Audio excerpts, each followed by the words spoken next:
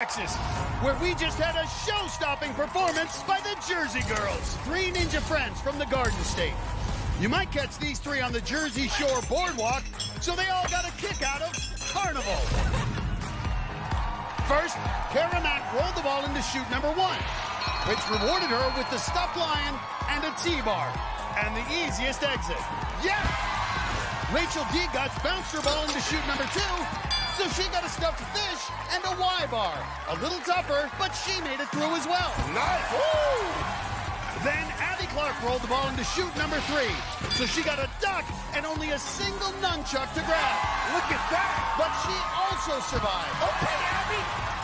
All three made it to the fifth obstacle, where Cara, Oh! Rachel, no! And Abby, Oh! all fell. But all three still have a good chance of moving on. Well, we got something special.